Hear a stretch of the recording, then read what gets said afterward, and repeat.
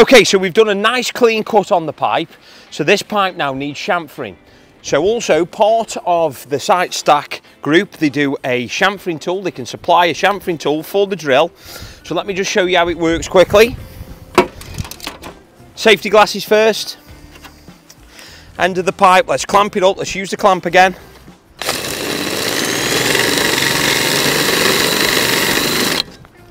Nice clean chamfer. Let's do the other end so we can show you and then we'll slip a collar on. Same again, just on the end.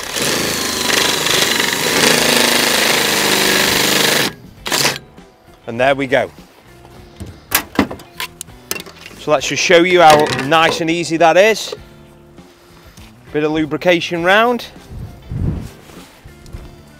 Straight collar, put a straight collar on.